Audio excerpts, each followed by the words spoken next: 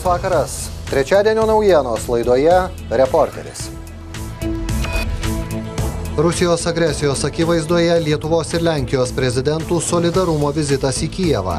Rusijos agresijos akivaizdoje Ukraina neliks viena. Amerika žada ginti kiekvieną NATO teritorijos centimetrą ir į Baltijos šalis permeta papildomas pajėgas. Lietuvos politikai ir pareigūnai sako, kad skelbti migrantų krizės pabaigą dar anksti. Baltarusijos pasienyje tęsiasi fizinio barjero statybos. Sunku tikėtis, bet artimiausius dešimtmečius, kad Baltarusijoje kas nors iš esmės keistųsi, tai tvora tikrai bus reikalinga visom prasmėm.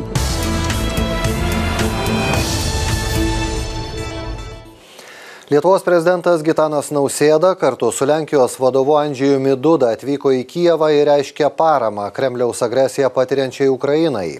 Tuo metu Amerika į Baltijos šalis permeta papildomų pajėgų - 800 pėstininkų, 20 sraigtasparnių ir 8 naikintuvus.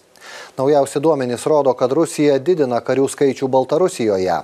Amerikos prezidentas Joe Bidenas Vladimirą Putiną atvirai pavadino agresoriumi ir perspėjo, kad NATO gins kiekvieną savo teritorijos centimetrą. Ukrainoje, kalbant apie didėjančią Rusijos plataus masto invazijos grėsmę, Kijeve lankosi Lietuvos ir Lenkijos prezidentai. Vizitu dar kartą ryškiama parama ir solidarumas Ukrainai ir jos žmonėms. Rusijos agresijos akivaizdoje Ukraina neliks viena. Galite tikėtis visakiojopos Lietuvos ir visos tarptautinės bendruomenės paramos. Jūs ją jau jaučiate. Mes palaikysime brolišką tautą. Ukrainą palaikysime visomis įmanomomis priemonėmis. Przez Rosję, przez prezydenta Putina Rusijos veiksmai regione kelia didelį nerimą. Esame susirūpinę dėl kiekvieno prezidento Putino būsimo žingsnio. Atidžiai stebime situaciją. Tai yra grėsmė ne tik Ukrainai, bet ir visam rytiniam NATO flangui bei Europos Sąjungai. Vertiname paramą europietiškiems ir transatlantiniams Ukrainos siekiams. Noriu dar kartą padėkoti prezidentams už jų indėlį. Jūsų šalis pirmos pripažino europinę Ukrainos perspektyvą. Kitos ES šalis galėtų pasiekti jūsų pavyzdžių ir tą paramą įtvirtinti.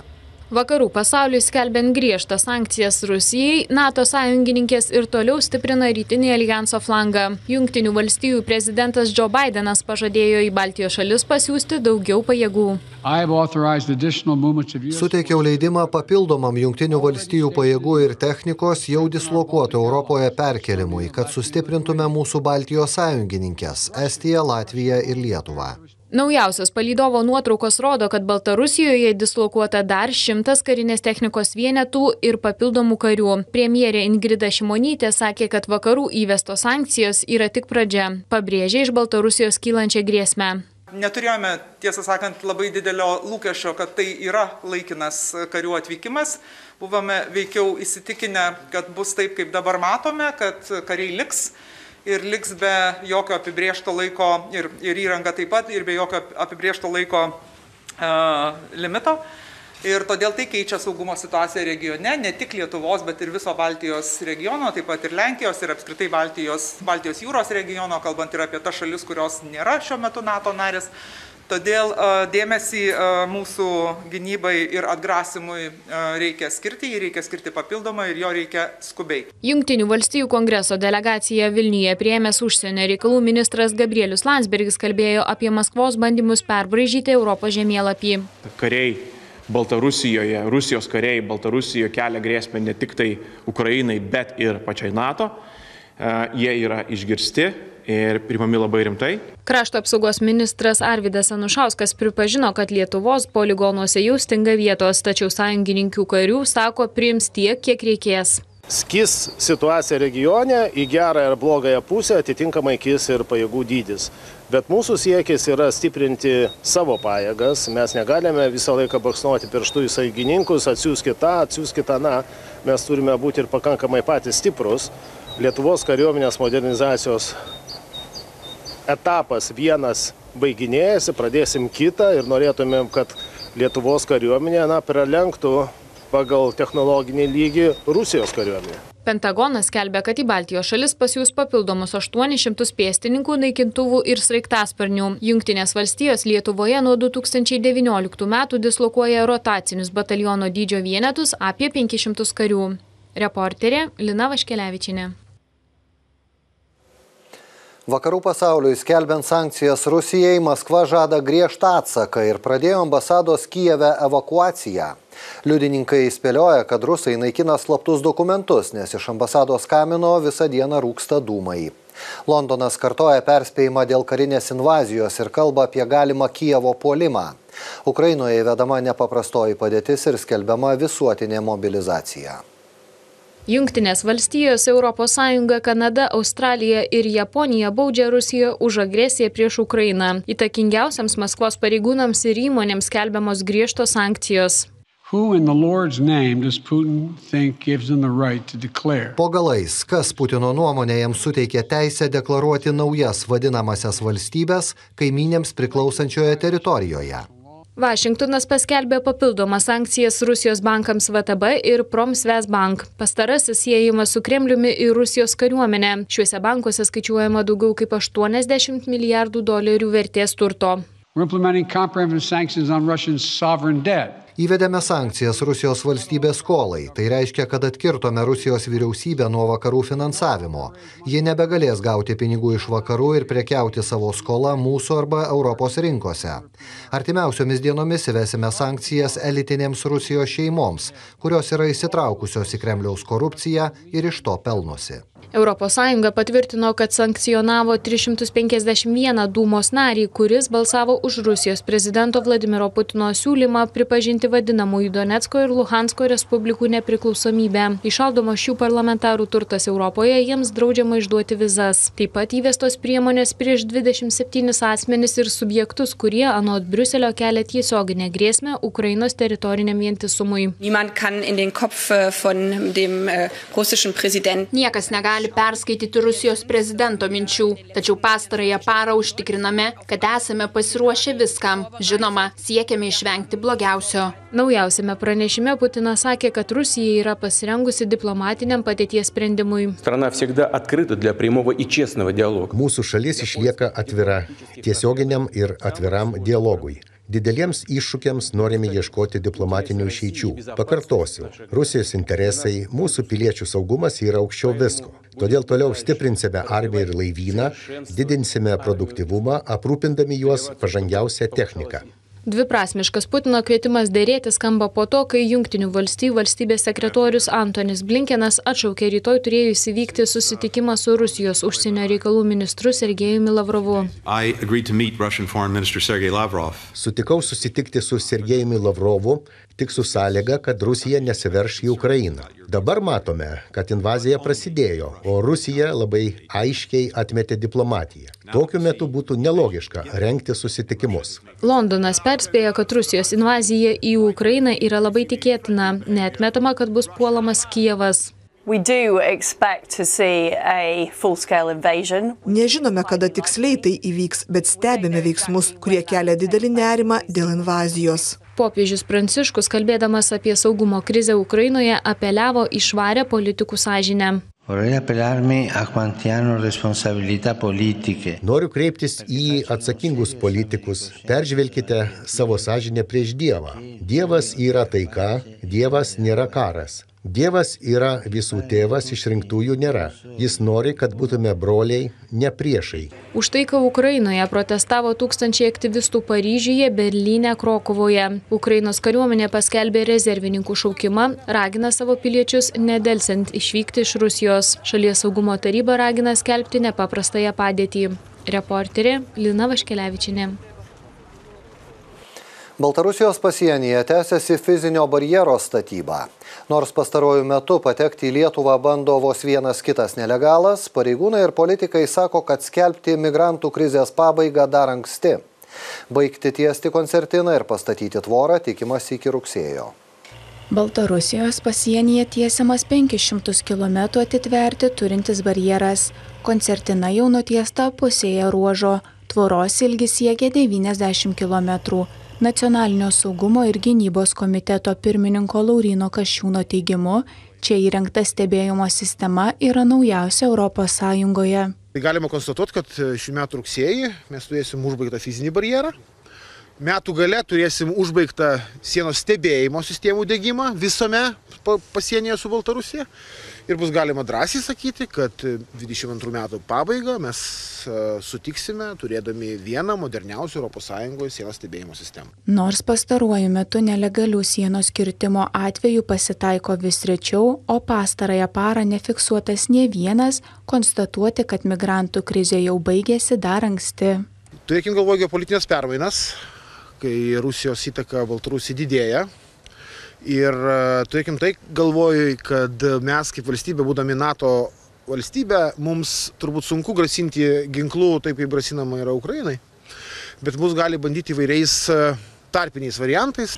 Valstybės sienos apsaugos vadas Rustamas Liubajevas sako, kad pastebima atveju, kai neteisėti migrantai į Baltarusiją atvyksta iš Rusijos. Tai rodo, kad dalis neteisėtų migrantų ieško kitų kanalų atvykti į Baltarusiją e, e, ir patekti į ES, į Lietuvą. E, taip pat e, turime informacijos ir duomenų, kad tai galėtų būti tie e, neteisėti migrantai, kurie gyveno kurį laiką jau Rusijos federacijoje, tiesiog turėdami informacijos norėjo pasinaudoti esamą situaciją ir tiesiog migruoti į, į ES valstybės. Saulis Kvernelis teigia, kad priimtas sprendimas dėl sienos statybos buvo teisingas. Jis apsaugos Lietuvą ne tik nuo nelegalios migracijos. Bent jau aš manau, kad sunku tikėtis, bet artimiausius dešimtmečius, kad Baltarusijoje kas nors iš esmės keistųsi, tai tvora tikrai bus reikalinga visom prasmėm ir dėl nelegalios migracijos, ir dėl kitų procesų, kurie buvo prie šitos sienos vykdomi, tai kalbant apie kontrabandą pirmiausia. Nuo rūpjūčio pradžios, kai pasieniečiai įgyjo teisę neįleisti draudžiamose vietose iš Baltarusijos einančių migrantų, jų į Lietuvą neįleista beveik 8,5 tūkstančio, tačiau pastaruoju metu padėtis nurimo. Praeitą savaitę į Lietuvą patekti bandė vos aštuoni migrantai. Reporterė Dominika Bukšaitytė. Vyriausiasis administracinis teismas nesijėmė spręsti, ar teisėtai buvo įvestas reikalavimas pradinukams per pamokas dėvėti kaukės. Nutarta kreiptis į konstitucinį teismą, bet ir šis verdikto greičiausiai nepaskelbs. Valdžia planuoja nuo kovo kaukės pradinukams atšaukti, todėl tikėtina, kad pasikartos galimybių pasų istorija ir konstitucinis teismas skundo nenagrinės. Nuo gruodžio šalies mokyklose pradinukai pamokų metu dėvi veido kaukės. Pedagogai sako, kad mažėjant susirgymų, tokios griežtos priemonės galima būtų atsisakyti vaikams, ypač pradinukams, išsėdėti pamokoje 45 minutės, tai yra tikrai sunku su kaukė. Aš manyčiau, kad pamokose tai galėtų būti ir be kaukių vaikai. Tėvai nesutinkantys su reikalavimu nešioti kaukės pradinukams kreipėsi į opozicijoje esančius parlamentarus, o šie pateikė skundą teismui. Esą operacijų vadovo sprendimas pažeidžia privatų žmogaus gyvenimą. Maži vaikai, jų plaučių turis yra mažas ir jiem neužtenka oro.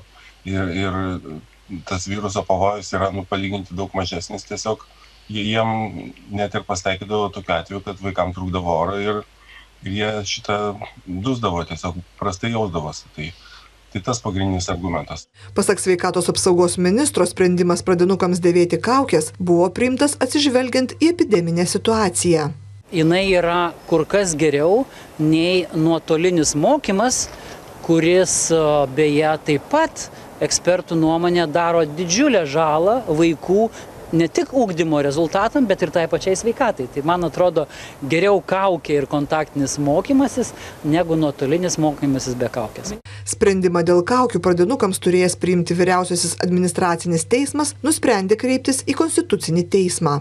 Operacijų vadovo sprendimas, kuris yra ginčiamas nagrinėjamoje byloje, yra priimtas vyriausybės nutarimo pagrindu dėl kurio ir kreipėsi teismas į konstitucinį teismą.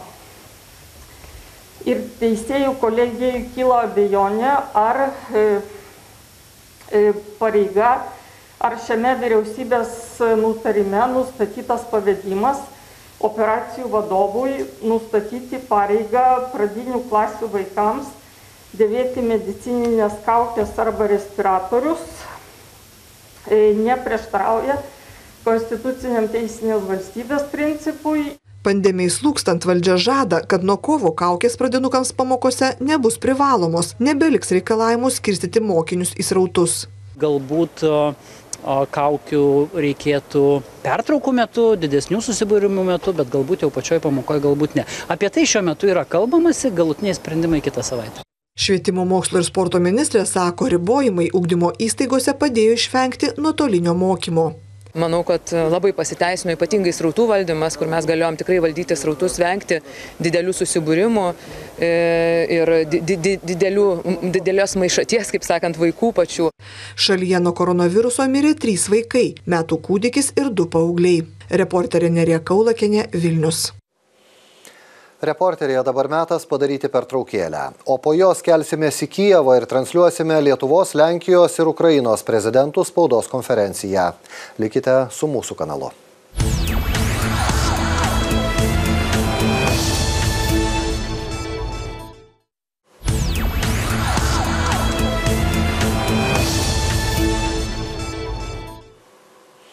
Grįžtame į studiją ir tęsėme reporterį. Rusijai pradėjus karinį invaziją Ukrainoje, solidarumo vizito į Kijevą atvyko Lietuvos ir Lenkijos vadovai Gitanas Nausėda ir Andžijus Duda.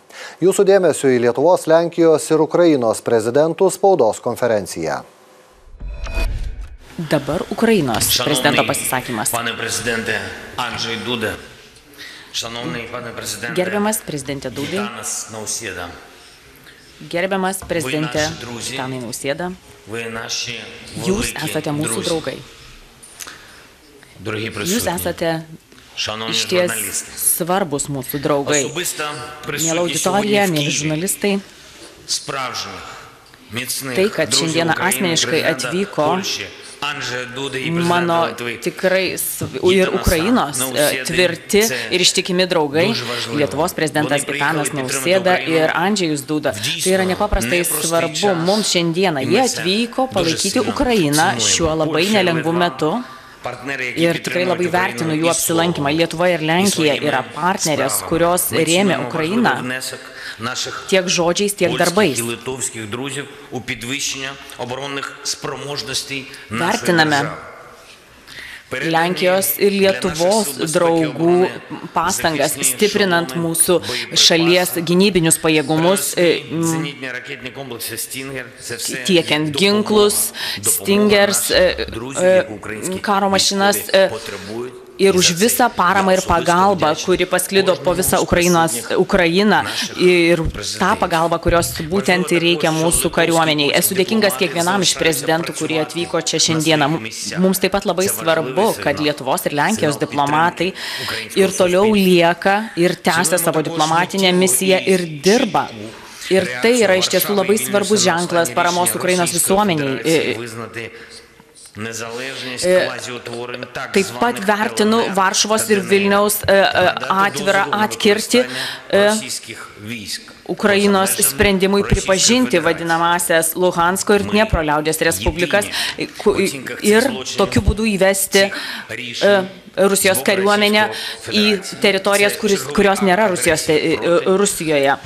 Ir mes dar vertinsime šį Rusijos šiuos agresijos veiksmus ir nebejotinai mes turime į tai žiūrėti kaip į agres, agresiją ir pažeidimą, mūsų teritorinio vientisumo pažeidimą.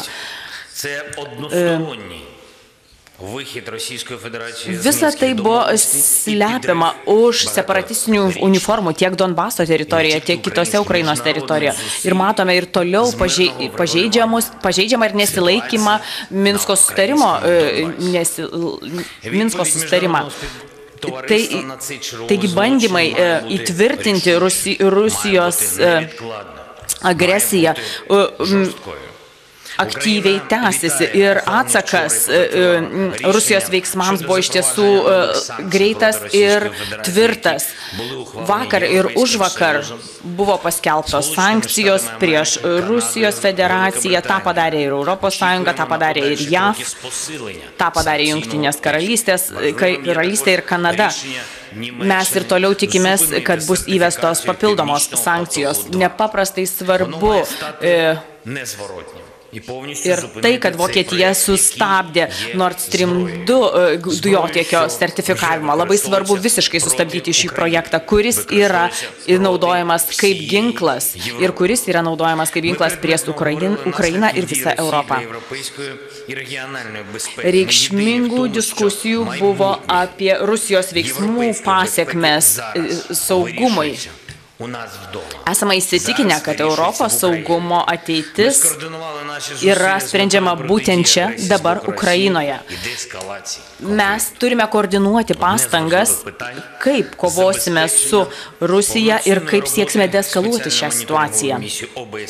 Vienas iš svarbių klausimų yra susijęs su EBPO specialiosios stebėjisenos misijos veiklos užtikrinimu.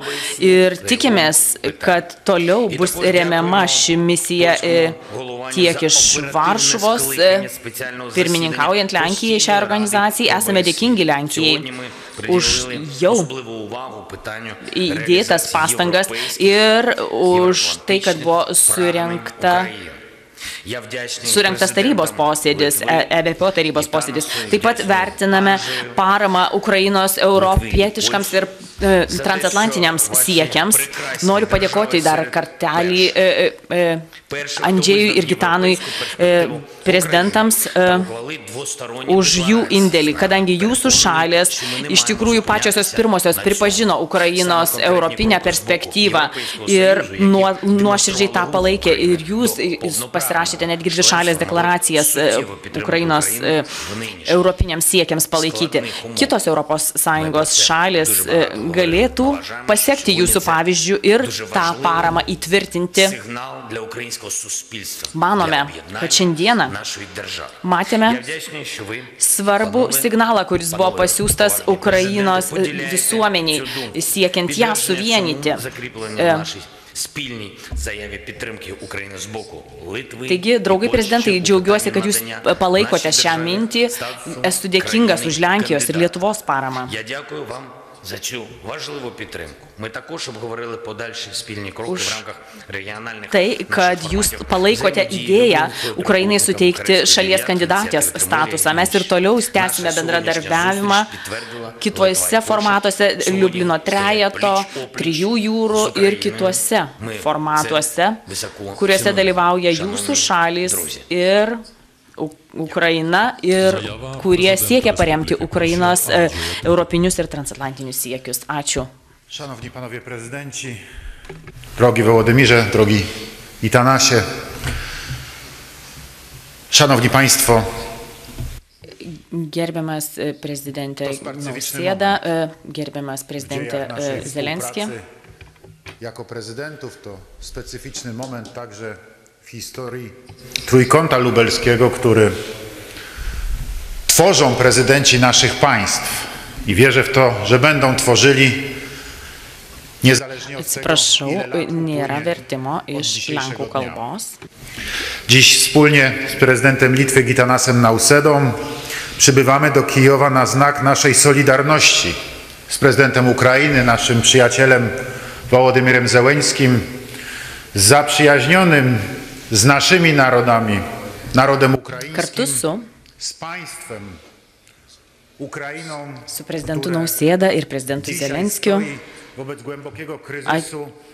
Ir kartu su prezidentu Nausėda atvykome į Ukrainą, kadangi esame draugai ir atvykome palaikyti tą šalį, kuri susiduria su didžiulė krize, kuriai kyla didžiulė Rusijos agresijos grėsmė. Čia atvykome kartu kaip lyderiai e, Liublino trejeto šalių. Ir tai nėra e, pirmasis mūsų sutikimas. Mes jau turėjome progų pasikalbėti ankstesnių konferencijų metu ir mes e, reguliariai tarėmės ir susitinkama prieš svarbius susitikimus.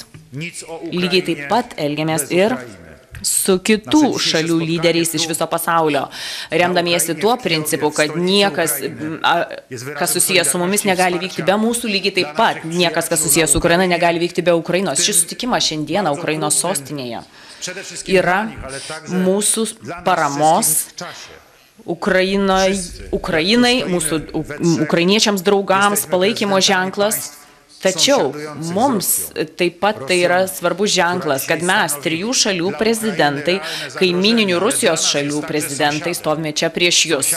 Rusijos, kuri kelia realią grėsmę Ukrainai šiandieną, tačiau taip pat tai yra ir mūsų, kaim, mūsų šalių kaiminė, tačiau tai yra ir kaiminė, į kurią mes kreipiamės, prašydami taikos, kaip Lenkijos prezidentas.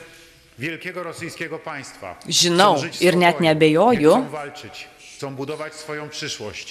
Kad Rusijos federacijos piliečiai nori gyventi taikiai, nori kurti savo ateitį, nori būti vertinami kaip geri ir atviri žmonės, kaip pasaulio piliečiai. Podczas tych dzisiejszych rozmów, co oczywiste, skupiliśmy się głównie na kwestiach związanych z bezpieczeństwem. Działania Rosji w regionie Mūsų pokalbio metu kalbėjomės apie saugumo klausimus daugiausia, kadangi Rusijos veiksmai regione iš tiesų kelia didžiulį nerimą. Ir iš ties esame susirūpinę dėl kiekvieno būsimo prezidento Putino žingsnio. Atidžiai stebime situaciją w tym wschodniej flanki NATO i całej Unii Europejskiej. Ir tai yra grėsmė ne tik Ukrainai, bet ir visam regionam, regionui, rytiniam NATO flangui ir Europos Sąjungos sienai, kadangi keičiamės informaciją apie veiksmus, aptarėme įvairias vykdomas iniciatyvas, būtent tą mes darome beveik kasdien įvairiais formatais įvairiuose forumuose. Ir Jest to czas wielkiego testu stebime, kaip saugumo sistemos struktūra yra ardoma ir greunama. Ši saugumo sistema buvo siek, įsukurta siekiant užtikrinti ES solidarumą ir NATO ES tvirtybę. Ir e, nepaisant išorinio spaudimo, Tas solidarumas gyvuoja ir išlieka. Ir prezidento Putino pagrindinis tikslas yra susilpninti ir parodyti NATO bei ES silpnybės, dviejų tarptautinių stabilumo simbolių e, e, silpnybę tų dviejų stiprių alijansų. Dabar būtent yra laikas įveikti visas e, negandas, visus skirtumus. Turime aiškiai sustabdyti neoimperialistinę Rusijos politiką. Kova vyksta ne tik už Ukrainos e, suverenitetą, tačiau ir už visą saugumo sistemą sistemą, už visą saugumo sistemos struktūrą tiek Europoje, tiek pasaulyje. Turime užtikrinti, kiek galima greičiau. Saug, kad būtų atkurtas e, saugumas ir tvarus vystimasis. Mes labai tikimės, kad karas neprasidės ir dėl to raginame prezidentą Putiną ir tuos, kurie yra atsakingi už sprendimų prieimimą Rusijoje, susilaikyti nuo įsakymų imtis karinės agresijos prieš Ukrainą. Tai yra labai svarbus momentas.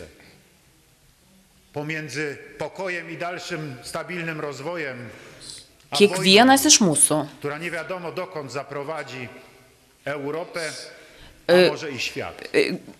Dabar esame ties labai plonytę liniją tarp karo ir taikos. Jeigu karas prasidės, niekas nežino, kur tai nuves Rusiją ir visą pasaulį.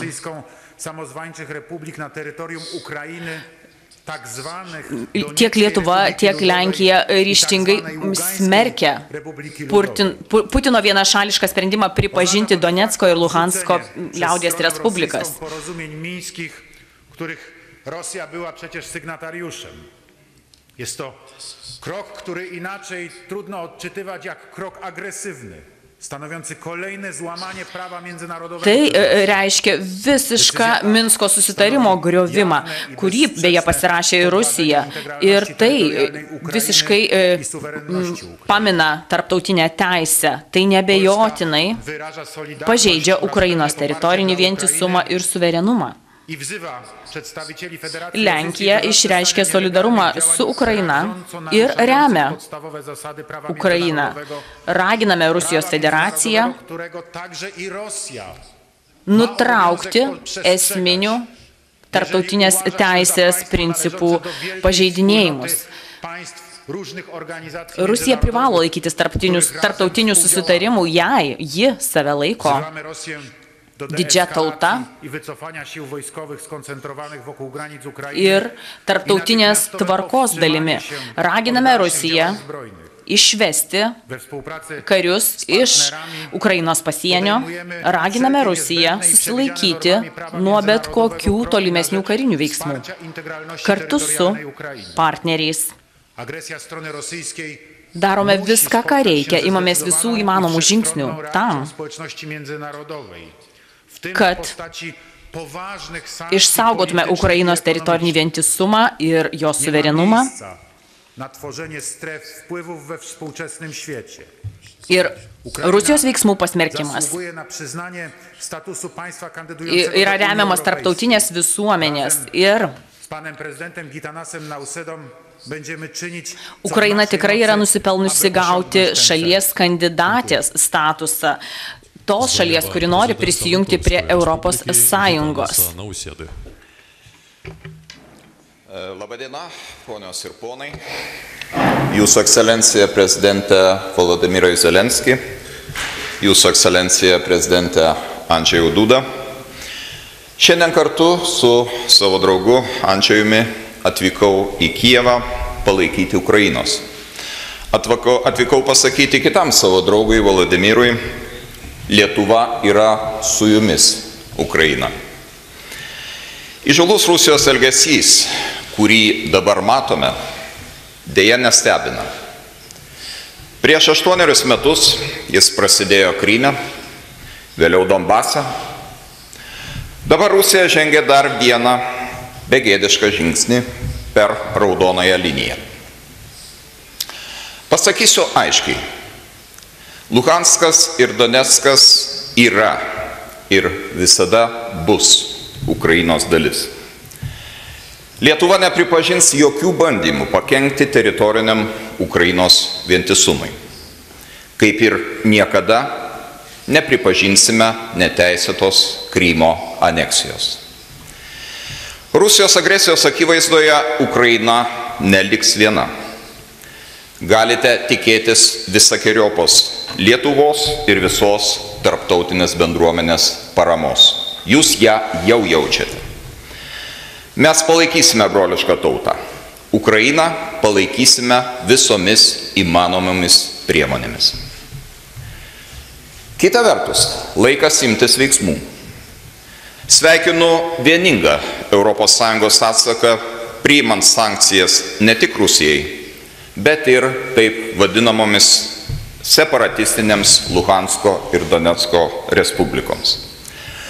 Palankiai vertinu tai, kad ES sankcijos yra derinamos su Junktinių valstijų, Junktinės karalystės ir Kanados sankcijomis. Prisijungia ir kitos valstybės. Tik ryštingas atsakas gali sustabdyti tolesnį konflikto eskalavimą. NATO taip pat turi pasiūsti aišku signalą, kad atvirų durų politika, kertinis NATO organizacijos principas, nebus keičiama. Jokia pasaulio šalis neturi teisės menkinti suverenios valstybės sprendimo būti kokios nors organizacijos ar alijanso dalimi. Negalime leisti, kad karinė grėsmė ir smurtas taptų lemiamų veiksnių.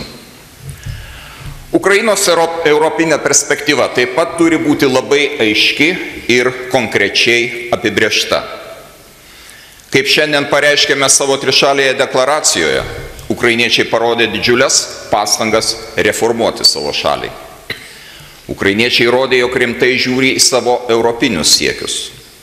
Atėjo metas mums, ES šalims, duoti Ukrainai kelią eiti pirmin.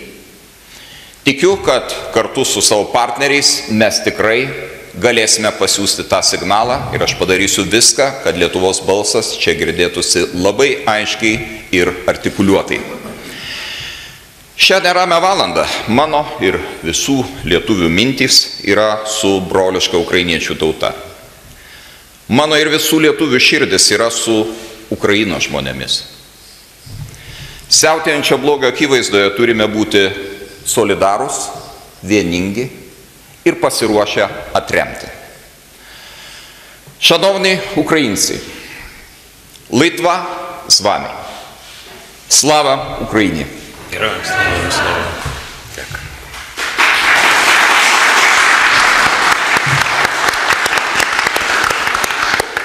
Дякую, панове президенте. Шановні представники ЗМІ, маєте можливість Thank буквально you. на пару запитань. Ačiū А, prezidentams. е, Газета Правда. Це польська. Ačiū. E, Dabar žurnalistai gali klausti. Michał Podolski, Dziennik Gazeta Prawna.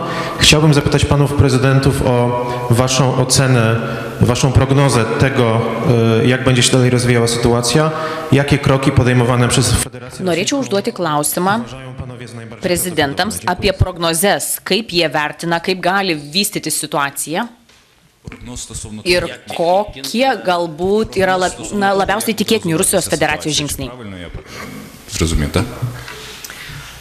Якщо можна, дякую за запитання. Я дуже швидко відповім. Я думаю, це більш серйозні речі, ніж Na, mano atsakymas būtų тому toks. Man atrodo, čia yra daug rimčiau nei oro prognozė. Dėl to prognozuoti tokius dalykus yra labai sudėtinga, kokių žingsnių Rusijos federacija ar separatistai gal, gal, gali imtis. Negaliu jums pasakyti, ką Rusijos federacijos prezidentas galvoja, tačiau nebejotinai žinau, ką darys mūsų kariuomenė.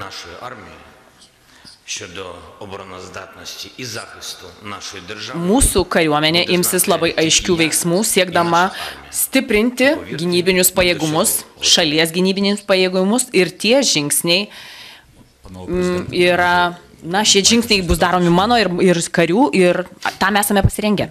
Aš norėčiau taip pat pasakyti, kad iš tikrųjų e, prognozuoti situacijos turbūt šiandien negali beveik niekas. Tačiau nereikia įsivaizduoti, kad šis procesas yra vienašališkas procesas. Ir e, šios pusės, kuri šiuo metu yra agresoriaus padėtyje veiksmai, labai smarkiai priklauso ir nuo atsakomosios vakarų valstybių reakcijos. E, Galima iš dalies pasidžiaugti, kad e, na, Rusijos veiksmai suvienijo Europą, suvienijo visas panašiai mąstančias valstybės pasaulyje ir mes matome labai konkretų, aišku situacijos vertinimą ir mes matome labai aišku pasmerkimo balsą ateinantį iš įvairių pasaulio valstybių sostinių. Tačiau to nepakanka. Vien tik retorikos šiandien jau nepakanka. Reikalingi sprendimai. Maža to, tie sprendimai negali būti vilkinami, jie negali būti priimami svarstant labai ilgą laiką.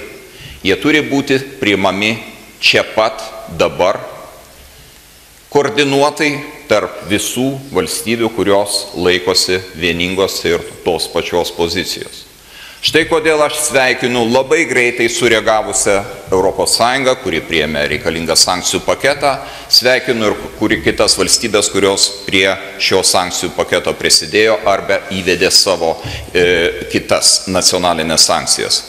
Aš manau, kad tai yra labai svarbus atgrasimo veiksnys, kadangi tokioje situacijoje, kuomet mes pademonstruosime aiškę netoleranciją tam, kas yra daroma, o tai, kas yra daroma, turi būti įvardinta taip pat nepaprastai aiškiai. Tai yra grubus tarptautinės teisės pažeidimas, kuris sukuria labai blogą precedentą ir greuna, iš esmės greuna visą saugumo architektūrą, su kuria mes gyvenome ilgus dešimtmečius. Tai yra pavojingas kelias, kuris veda į niekur. Veda į niekur tiek pasaulio bendruomenę, tiek ir pačią Rusiją. Būtų labai sveikintina, jeigu Rusija suprastų savo veiksmų pasiekmes ir savo elgesį nukreiptų į taikų sugyvenimą, bendradarbiavimą, o ne prieš priešą ir gazdinimą.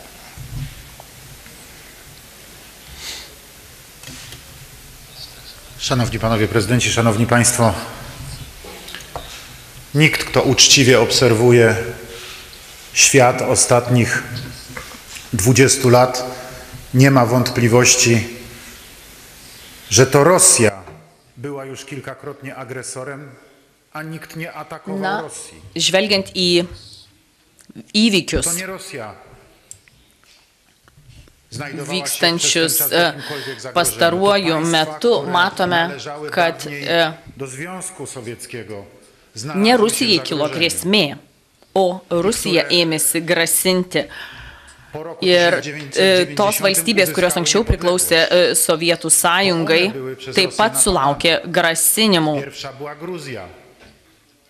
Tos šalys, kurios 90-aisiais e, tapo e, laisvos, pirmiausia tai buvo e, Sakartvelas, vėliau Ukraina, paskui vėl grasinimai iš naujo Ukrainos adresus skriejo. Neturėtume dvėjoti dėl to, kas yra agresorius šiuo atveju. Taip, turime aiškiai pasakyti, kas pažeidinėja tarptautinę teisę. Taip pat turime aiškiai suvokti, Kas?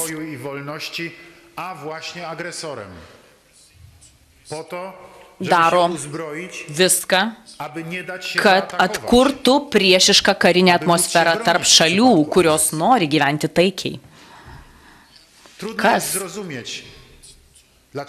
Imasi ginkluotis, kad galėtų apsisaugoti nuo tos galimos agresijos. Iš ties labai sunku suprasti, kodėl prezidentas Putinas ir Rusijos vyriausybė būtent taip veikia ir elgesi, siekia sugrįžti į ta, tuos laikus, kai galimybės keliauti po pasaulį nebuvo. Kai Sovietų sąjungos piliečiai negalėjo niekur išvykti iš šalies, negalėjo pažinti pas pasaulio ir żyć spokojnie. nega, negalėjo gyventi taikoje.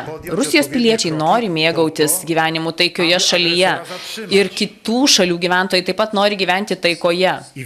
Visi turime imtis konkrečių veiksmų, kad sustabdytume agresorių. Esu giliai įsitikinęs, kaip NATO ir ES valstybės prezidentas, że uda nam się to zrobić pokojowymi metodami i skutecznie. būdamas prezidentu šalies, kuri priklauso šioms dviems tarptautinėms organizacijoms, kad mes galime tą iš, išspręsti efektyviai ir taikiai.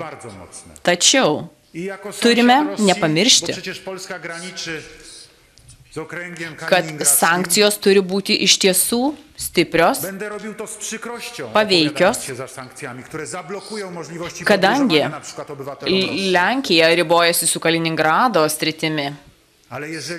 Ir kadangi Rusija yra mūsų kaiminė, aš aktyviai remsiu sankcijas ir aš suprantu, kad apsunkinsime galimybės keliauti Rusijos piliečiams. Tačiau jeigu prezidentas Putinas ir toliau pažeidinės tarptautinę teisę ir toliau puldinės kitas te valstybės ir kenks taikių gyventojų gyvenimui, tokių kaip Ukrainos gyventojų na, geroviai, tuomet mums teks imtis šių žingsnių, griežtų sankcijų.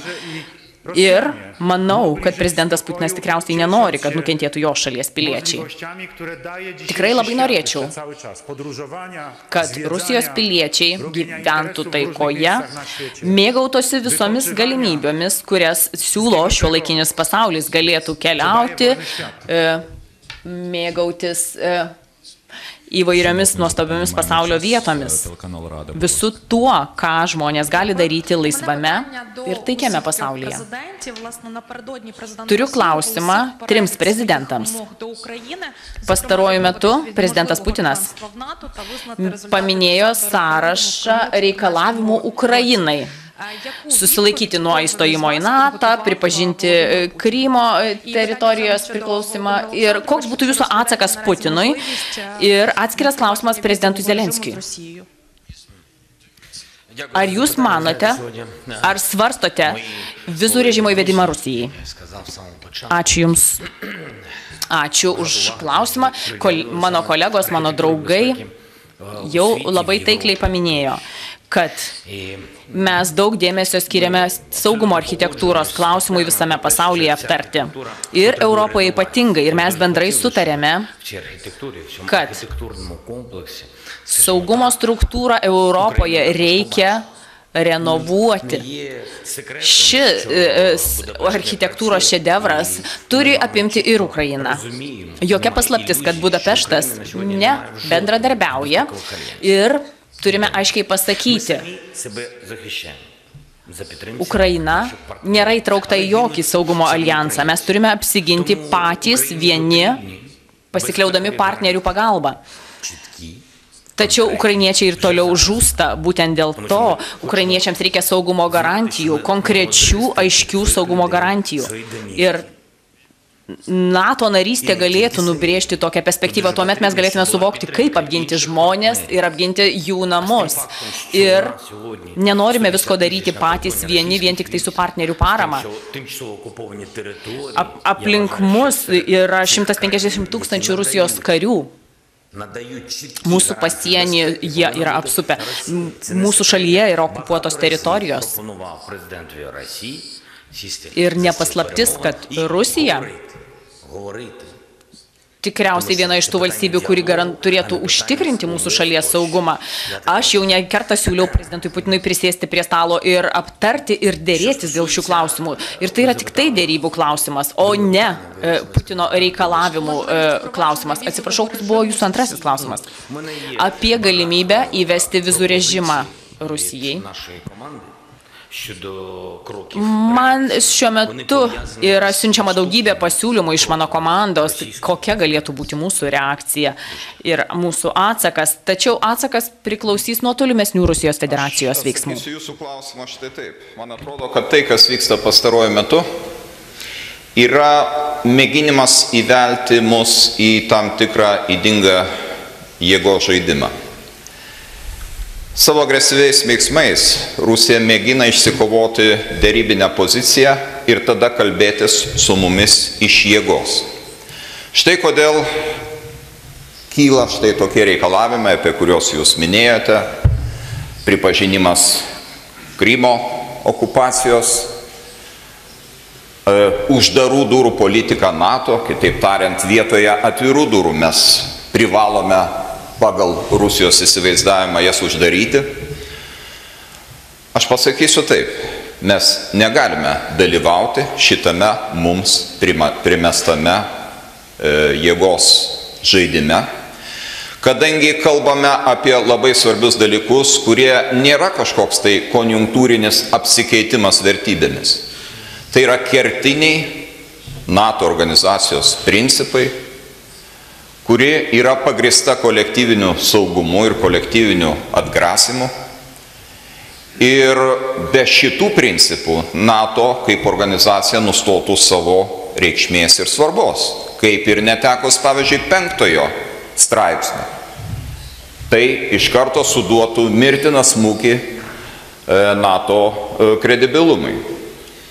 Ir ne kažkas kitas, esantis už NATO ribų, turi pasakyti, kad jūs turite perrašyti NATO veiklos principus. Juk ne Rusijos prezidentas Vladimiras Putinas sukūrė NATO.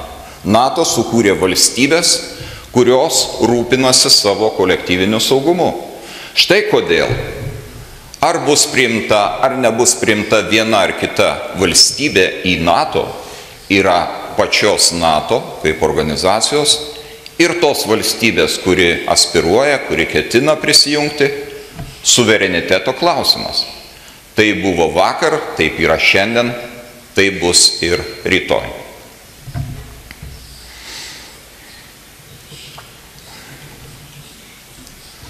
Ja mogę tylko krótko odpowiedzieć na to pytanie. Wszystkie działania prezydenta Władimira Putina i Rosji, o, których, o które pani redaktor pytała, Galiu tik tai trumpai atsakyti. Visi Putino veiksmai, Rusijos veiksmai nėra nieko daugiau nei tik agresijos, agresyvus išpolis. Ir tai prasidėjo taip, Kryme. Te żądania to jest próba pozbawienia Ukrainy suwerenności. Cywilizowany świat Pirmieji veiksmai buvo teritorijų užgrobimas. O dabar girdime raginimus atsisakyti Ukrainai savo suverenumo. To netoleruos nei Lenkija, nei pasaulis. Nepripažinsime Krymo okupacijos, ne, nepripažinsime Ukrainos sienų pažeidimo. Dėkui, panau, ir dėkui žurnalistai. Nepateisinsime tarptautinių teisės Zustas, principų uh, pažeidimų. Zavašė.